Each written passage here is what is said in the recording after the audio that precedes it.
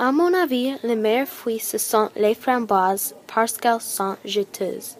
Elles sont goûteuses et sucrées. Elles ne sont pas dégoûtantes. Elles sont molles. Elles sont aussi nutritives. C'est un fruit. J'aime bien manger les melons parce qu'ils sont délicieux. Ils sont fermes et juteux. Ils ne sont pas infects. Ils sont un peu fades. Ils sont sucrés. C'est un fruit. Le pire fruit, ce sont les grenades parce qu'ils sont dégoûtants. Ils sont aigres et infects. Ils ne sont pas délicieux. Ils sont fades. Ils sont amers.